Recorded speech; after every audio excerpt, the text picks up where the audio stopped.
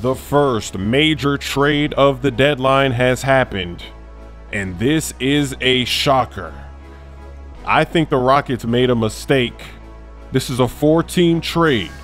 The Houston Rockets, they're going to get rid of Clint Capela, Nene, Gerald Green, and a first round pick. That is a lot to give up. You would think they're going to get a superstar, right? Nope. In return for all of that, the Rockets are going to get Robert Covington. He's a good player. He's a pretty good defender. He knocks down threes, but to give up Capela and Green and Nene in the pick, the Atlanta Hawks appear to win this trade. They're going to get Clint Capela and Nene.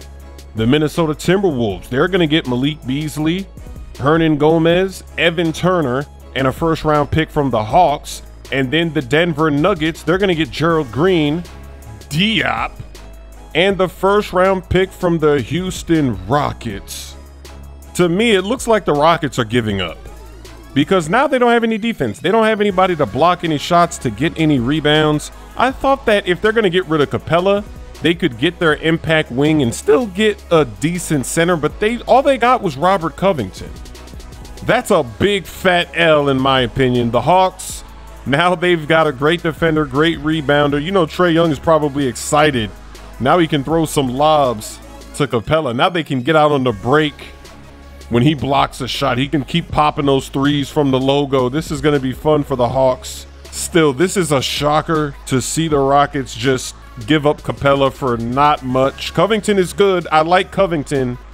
But now you just created a problem on your team. Maybe they're going to make other moves before the deadline is over to fill in the gaps.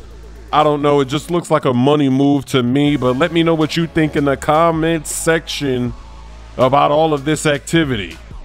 Stop complaining about the way I'm playing. I just took a 30 point lead. My bow and most got 99 speed. My player got a 99 3. She's in for a decade, now it's 2020. Another theme song, I could never have too many. Haters silly, total views about to be 3 billion. The beat slaps, doesn't matter.